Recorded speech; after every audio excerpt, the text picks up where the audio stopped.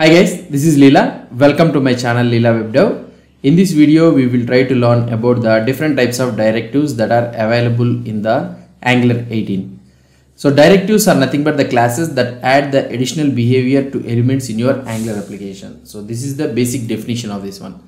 So directives are the classes that add additional behavior to elements in your Angular application. Here elements means nothing but the HTML elements.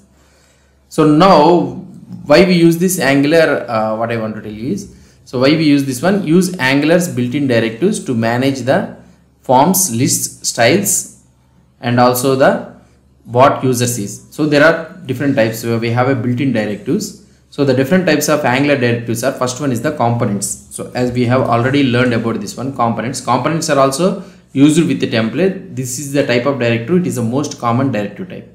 And another one is the attribute directive. So which we will try to learn it now. And the last one is the structural directive. Okay. So these are the different types of directives which we will be having. Structural directive. Okay.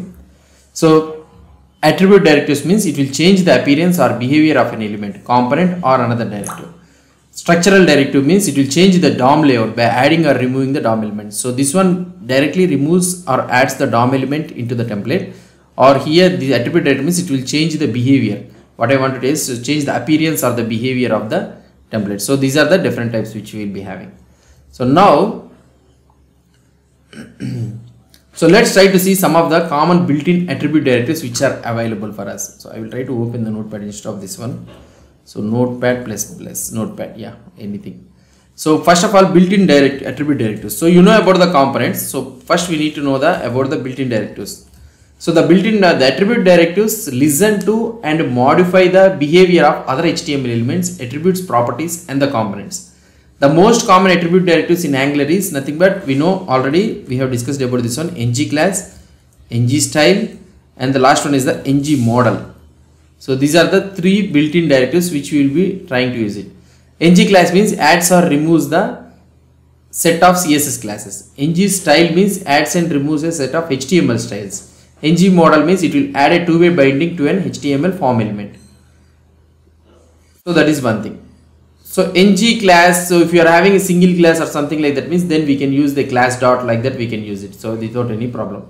So these are the different types of attribute attribute directives which we will be having. So why we use this ng class means to add the dynamically the classes.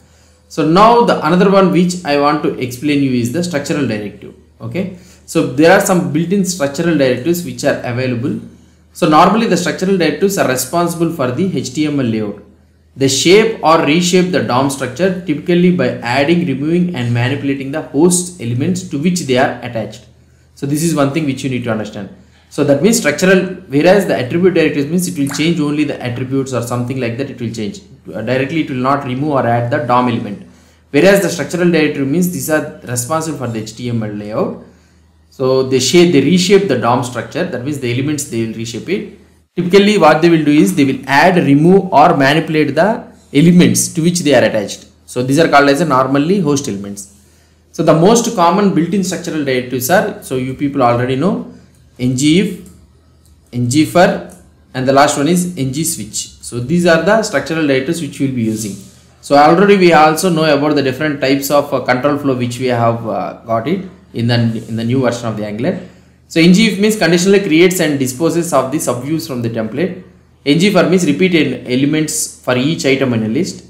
And the ng switch means a set of directives that switch among the alternative views. So this is this this is these are the two things. So now first one is ngif means it will add or remove an element by applying an ngif directive to an host element. When ngif is set to false means Angular removes that element and its descendant from its DOM. Angular then disposes of their components which frees up memories and resources. So that is one thing. And this is all about the about the different types of ngif and ngfor also you people know about this one. ngfor means what it will try to do so it will present it will do, it will loop over the list of all the items. So this is all about the different types of uh, what I want to tell you is at, uh, attribute direct built-in uh, structural directives and also the built-in attribute directives. So hosting a directive without a DOM element means for example let's say that if you are having a DOM if you are not having a DOM element and you want to add a directive to that one means so we need to use ng container. So this ng container so will not be presented in the DOM. So the angular's ng container is a grouping element that does not interfere with the style or layout because angular doesn't put in the DOM so use ng container when there is no single element to host the directive. So that is one thing. So let's say that uh, le- uh, something like for example let's say that you want to apply some data. So here i will try to show you.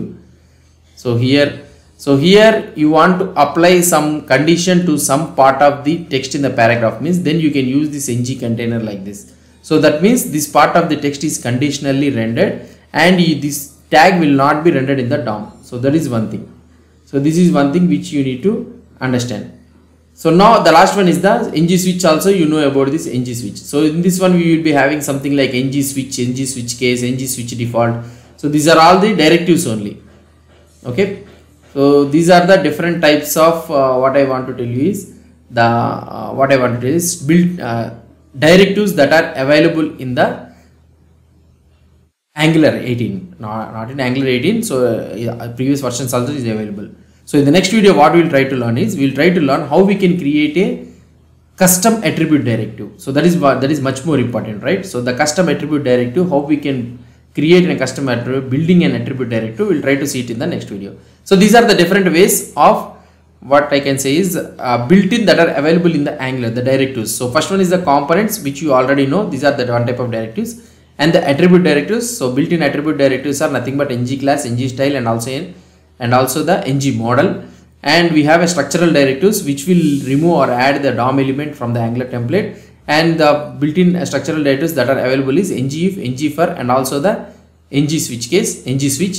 So we also have an ng container so which is also one of the important thing. So when you want a DOM, when you want an element to be added condition to or to add the directive to an element but that element should not be projected in the browser render means so then we will be using this ng container.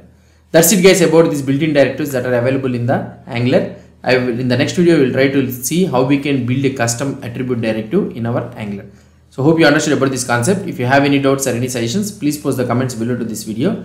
And if you like this video, please do support me by subscribing to my channel. Thank you.